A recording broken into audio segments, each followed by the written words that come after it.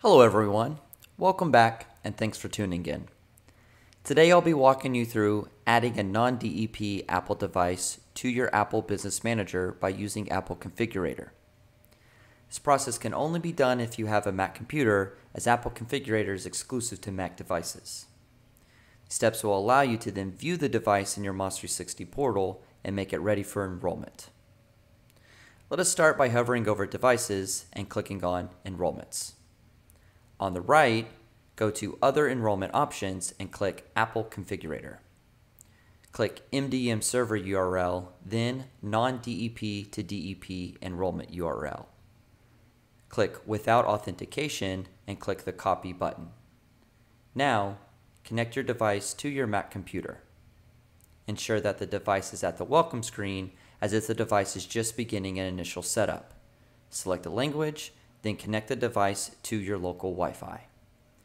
Once you confirm that the device is connected to your local Wi-Fi, return to Apple Configurator, right-click on the device, and click Prepare. Make sure that manual configuration is selected, add to Apple School Manager or Apple Business Manager is selected, and finally, allow devices to pair with other computers is selected. When you are ready, please click Next.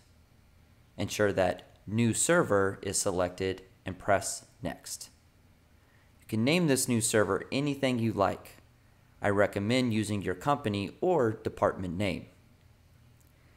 In the host name or URL, we are going to replace the information that was there by default with the URL that we copied from your MaaS360 portal.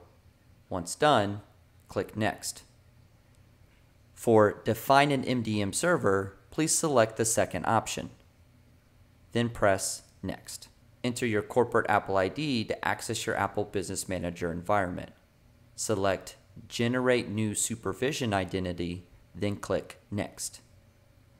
And finally, Next one more time.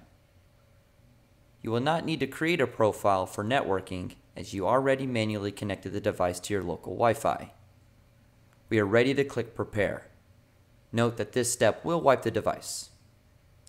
Once done, log into your Apple Business Manager portal and click on your company name on the bottom left and select Preferences.